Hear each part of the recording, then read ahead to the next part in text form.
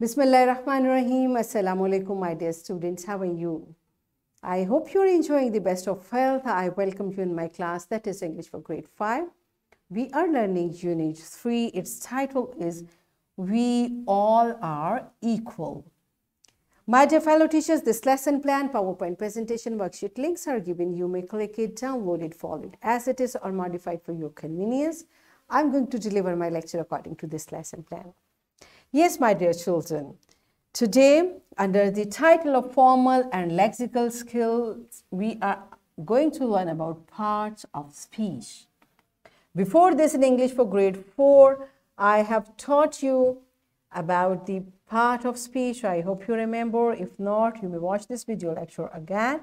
And we are going to learn further to organize vocabulary items learned in class and from the extended environment, including media, in a notebook according to parts of speech and word family. Today, our focus will be parts of speech. Change part of speech of a given word. These are our today's SLOs. Let's start with the name of Allah subhanahu wa ta'ala. Allah mentions in Quran, Surah Al-Baqarah, verse 31. And he taught Adam, alayhi salam, the names all of them. When he, Allah subhanahu wa ta'ala, showed them to the angels and said, Inform me of the names of these if you are truthful. Yes, my dear children, subhanallah. Allah subhanahu wa ta'ala created everything. Allah subhanahu wa ta'ala named everything. And then Allah subhanahu wa ta'ala taught these names to Prophet Adam alayhi salam. This is what, this verse is telling us. And then what happened? Allah showed those things to angels and said, Tell me the name of these. Do you know them?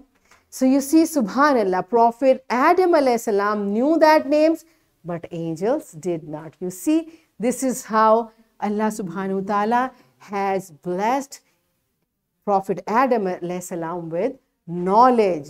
So this verse tells us the place, the rank of humanity because of knowledge. So this is what we are learning. And beta, there is no limit of learning. Once we learn something, there are still many things to learn. So this is how, which we will learn today, that we, we have learned many, you know, noun, pronoun, verbs, many things. Today we learn these things as parts of speech. Okay? So first you tell me, what are nouns? And what do you know about verbs? And what are adjectives? We have learned all these things. So pause the video first, tell the answers of these questions to your teacher and then come back. Yes, my dear children, I hope you remember all these, uh, you know, vocabulary we have learned everything around us that we can see, hold, touch, or feel has a name, and that is called a noun. Remember? And this noun may refer to a person, a place, or thing. This is what noun is. All right? Now, there are many nouns in this picture. First, teacher, I want uh, my children to connect with the topic. So pause the video and name all the nouns from this picture. Yes, my dear children, I hope you could name all the or maximum nouns from this picture. And now the next thing is the action is something that someone is doing, right? And that action word is verb. Good. For example, sleeping, sitting, and napping. So even though there is no movement, there is still an action. Okay?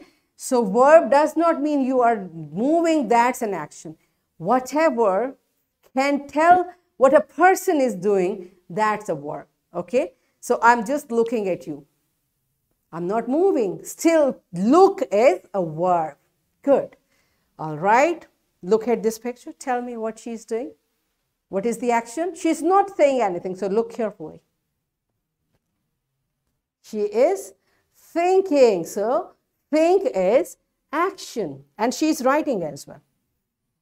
Think, look at her face. She's thinking, she's writing. So there are two actions at a time we can find. Sleep, action, eat. Yes, and eat is the action word and in grammar what do we call it? Verb, good. And he's happy to eat. This is something what you like. Now, what is an adjective? An adjective tells more about a noun, such as color, age, quality, quantity, size, etc. Right? So, a noun is a naming word. For example, I say book. Book is a noun.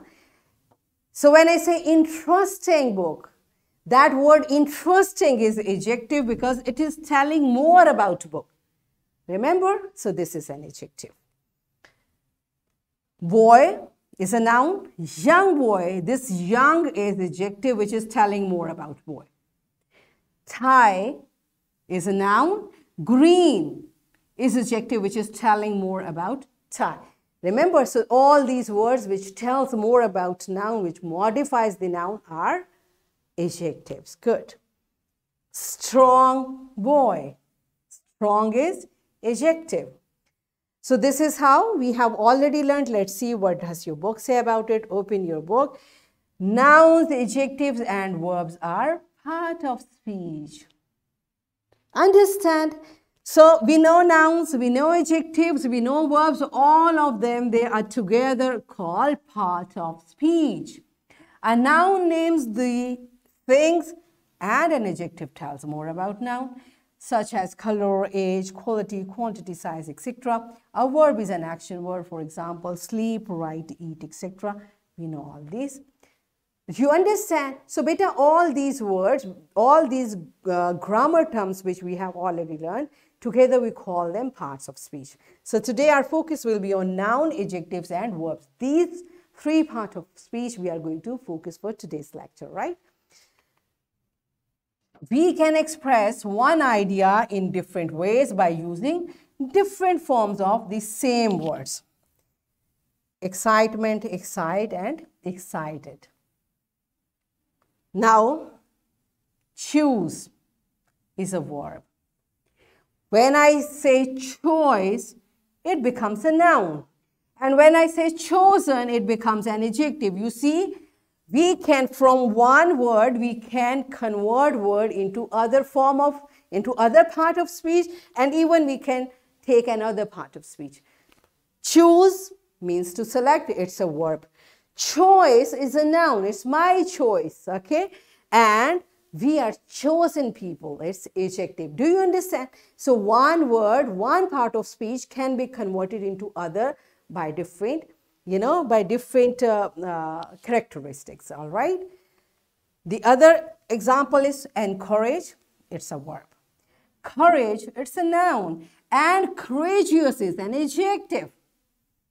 The root word is same, but different forms of different parts of speech can be modified into different ways, right? Do you understand? Okay, so it's time to check what I've learned. I'm giving you a very interesting activity. You have to go to a part of speech. It's a search hunt. Okay, searcher hunt. Grab a stack of old magazines. Okay, this is teacher will provide you old magazines and send students on a hunt to find the parts of speech, noun, verbs and adjective. Today, our hunt is till these three parts of speech, noun, verb and adjectives and students can cut them out and glue them on uh, to poster and they can hang it outside the class. So what we are going to do, teacher will give you material. You have to cut these three noun, verbs and adjectives out of that. So pause the video, enjoy this activity.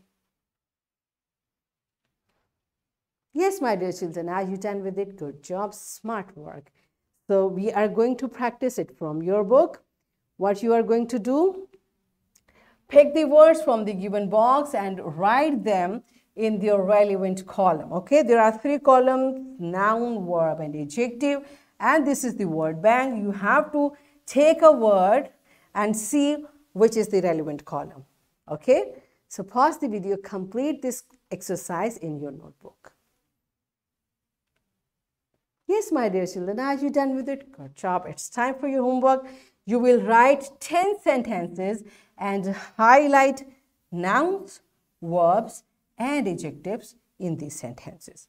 And I'm giving you a worksheet, my dear fellow teachers. This worksheet, lesson plan, PowerPoint presentation links are given. You may click it, download it, and kindly provide printed worksheet to students for practice. And my dear children, what you are going to do, once again, here is a word bank, and you have to write these words in the relevant columns. So in this way, what we have learned, we were able to recall the learned part of speech and we learned that we can express one idea in different ways by using different form of the same words. So in this way, we achieved our SLO to organize vocabulary, item learnt in class and from the extended environment, including media, in a notebook according to parts of speech and word family, change part of speech of a given word. Yes, my dear children, are we done with it? Yes. So that's it for today. Tomorrow I'll come again with a very interesting lesson. Till that time, keep learning, keep practicing.